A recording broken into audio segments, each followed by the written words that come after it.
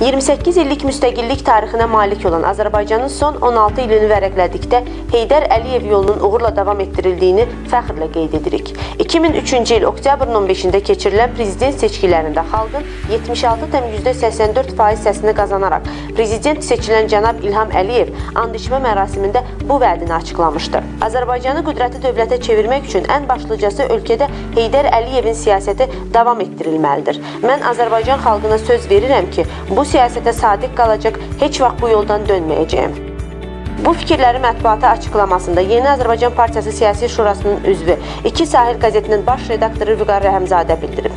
Vüqar Rəhimzadə qeyd edib ki, Azərbaycan dövləti sosial-iqtisadi inkişafı hər zaman demokratikləşmə prosesi ilə paralel şəkildə həyata keçirir. Bu iki amil bir-birini tamamlamaqla yanaşı, həmçinin quruculuğun inkişafı vəhdətini təşkil edib. Dövlətimizin başçısı İlham Əliyevin dünya təcrübəsinə istinadən qeyd etdiyi kimi, iqtisadi yüksəlişi olmayan cəmiyyətdə demokratik meyarların inkişaf tapması mümkün deyil.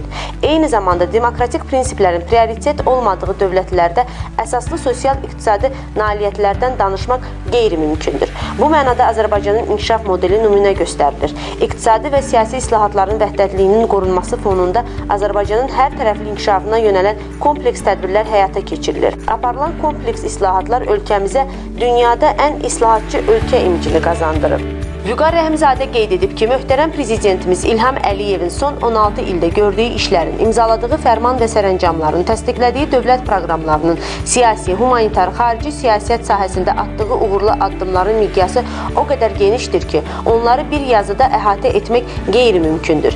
Ümumiləşdirilmiş şəkildə qeyd etsək, həyata keçirilən siyasətə dəstəyin, qəbul olunan qərarların xalqımız tərəfindən yüksək səviyyədə dəstəklənməsinin nəticəsidir ki, cənab İlham Əliyev 2008, 2010 2013 və 2018-ci illərin prezident seçkilərində qələbəsini təmin edib, xalq iqtidar birliyinin sarsılmazlığını, həyata keçirilən siyasətin alternativsizliyini təsdiqləyib. 2018-ci ildə and içmə mərasimində söylədiyi, ancaq biz əldə edilmiş nailiyyətlərlə kifayətlənməməliyik. Biz gələcəyə baxmalıyıq və baxırıq. Növbəti illərdə görüləcək işlər haqqında bizim çox aydın təsəvvürümüz, planlarımız, proqramlarımız var. Fikirləri əldə olunan uğurların davamlılığına, yeni-yeni hədəflərin gerçəkləşəcəyinə əminliyinin ifadəsidir. Könül Əliyeva, Şəmsiyə Əli qızı, İki Sahil TV